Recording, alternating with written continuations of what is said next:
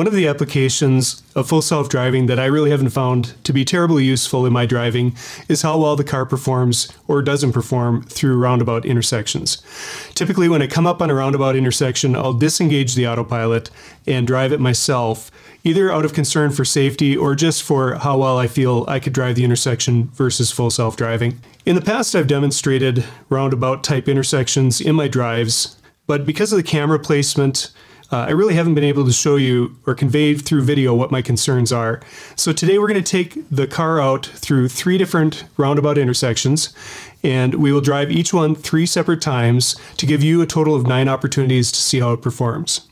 I'll change the camera placement to allow oncoming traffic to be viewed easier from the left so you can see traffic coming into the intersection as my car navigates through it. And I'll also bring the drone along to give you a bird's eye view to share what's been going on in these types of intersections. So with that, we're going to head out on the road. I'll see you there. So we're at the first roundabout and our car's in the correct lane for the route that we've selected.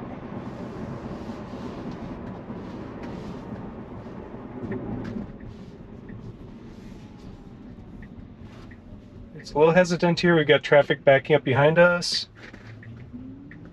I'm using the accelerator to help it out a little bit just because of the traffic.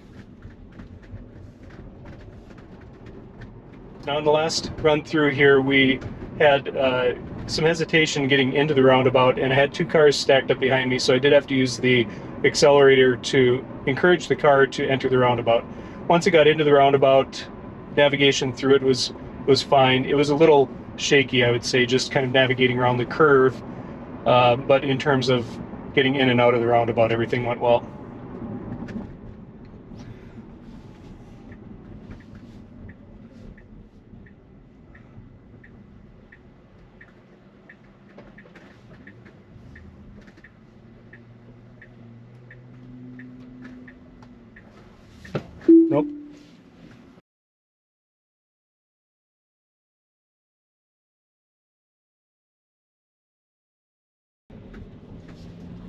We're going to say that that one wasn't very good.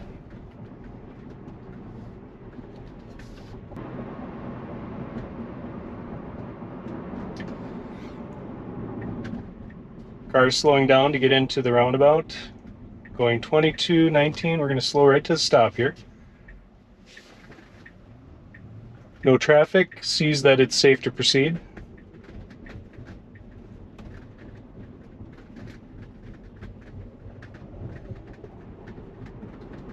And then makes the correct lane exit. So that all looked really good.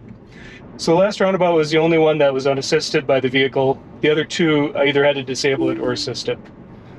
So we're going to set up for the next one right now.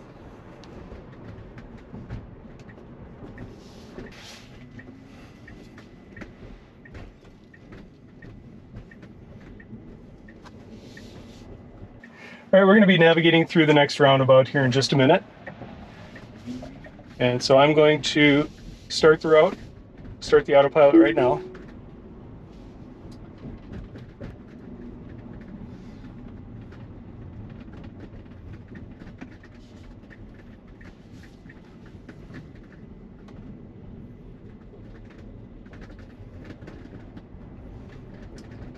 And we did perfect that time.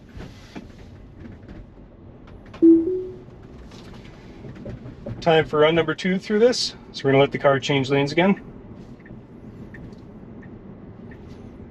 Set speed is at 35. No traffic that I could visibly see coming into the roundabout.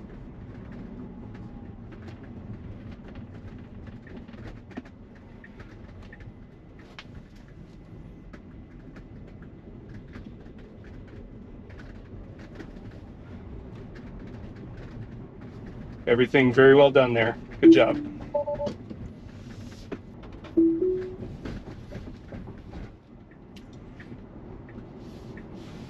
All right, this is run number three.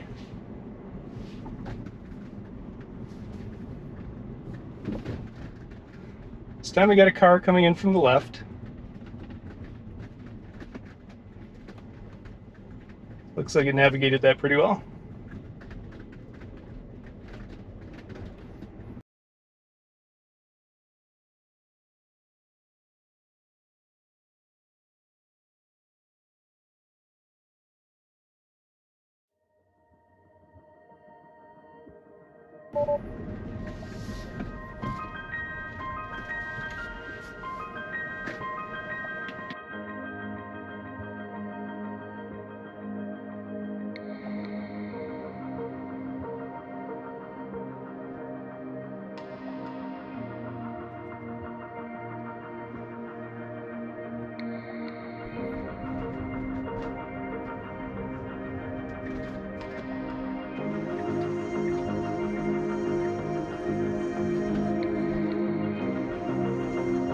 Here we are at the third intersection and it's pausing for traffic and actually they've got the yield and we've got the right of way. So had to give it some accelerator there to um, encourage it to go through. All right here we come up on the second run.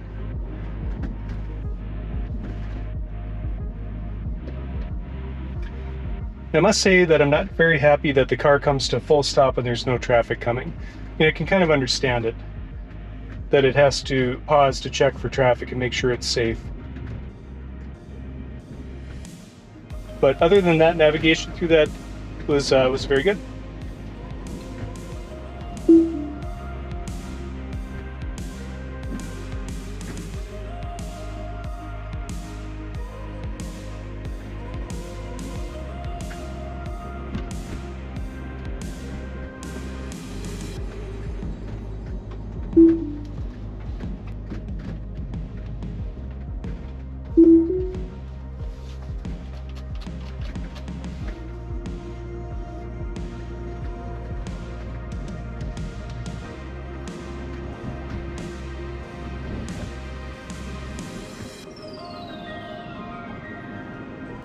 Here we are back at the studio, and I just wanted to get your thoughts on how you thought the drive went.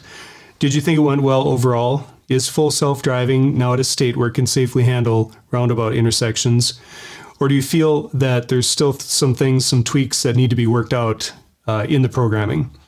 Be interested to hear your thoughts. If you feel if you are inclined to share those, please put them in the comments section down below. If you like the video, please consider giving it a thumbs up also, if you'd like to see more videos like this, check back here or simply hit the subscribe and notify button. Subscribing to this channel is completely free and it really helps to show your support for this kind of work and content creation. And that's all I have for this week. I just wanted to thank you for coming along today and we'll see you on the next one. Have a good week.